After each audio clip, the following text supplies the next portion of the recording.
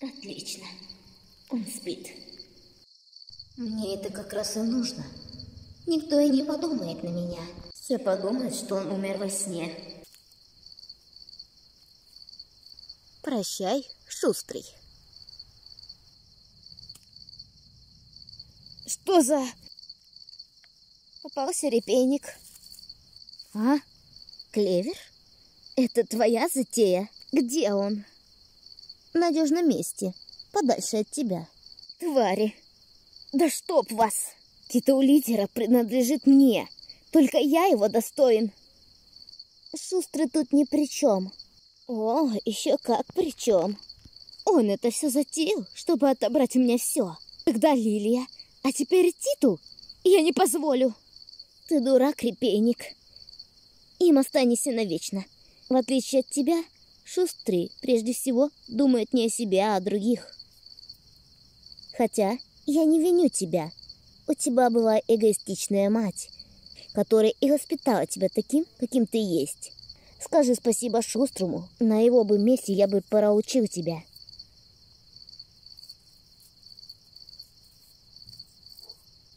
Держись подальше от Шустра, по крайней мере во время голосования.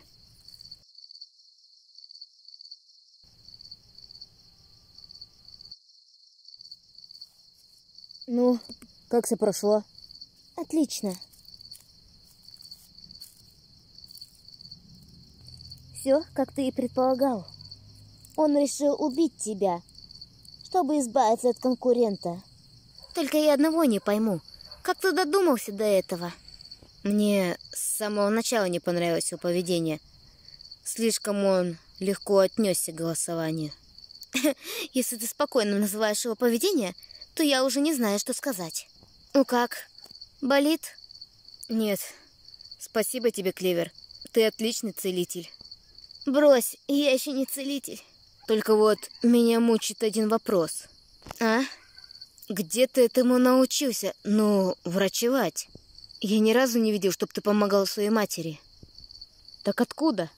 Знаешь, у нас же есть суеверие, что нужно не убиваться по умершим, а отпускать их. Ну да. Если все сделать правильно, то душа отделяется от тела и переселяется в новое. Но при этом все воспоминания о прошлой жизни стираются. Но иногда бывает и такое, что обрывки прошлой жизни всплывают. Так, видимо, случилось и со мной. То есть все твои знания достались тебе от прошлой жизни, я так понимаю? Ну да, похоже на то. Знаешь, иногда я вижу один и тот же сон. Он, конечно, может прозвучать странным, но я вижу себя в образе вороной кобылицы с красной лентой в гриве. Прозвучит странно, но как ты узнал, что ты во сне именно кобыла? В отражении озера. Такое ощущение, что я хочу поглядеть в озеро – но вижу там не себя, а ее. И в груди, ну, сразу сжимается сердце, а на душе становится тяжко и грустно. Еще один вопрос возник у меня в голове. Небесные предки, ты утверждаешь, что душа после смерти перерождается вновь. Но как тогда образовывается небесное войство? Хороший вопрос. Но я не знаю на него ответ. Прости уж. Ладно.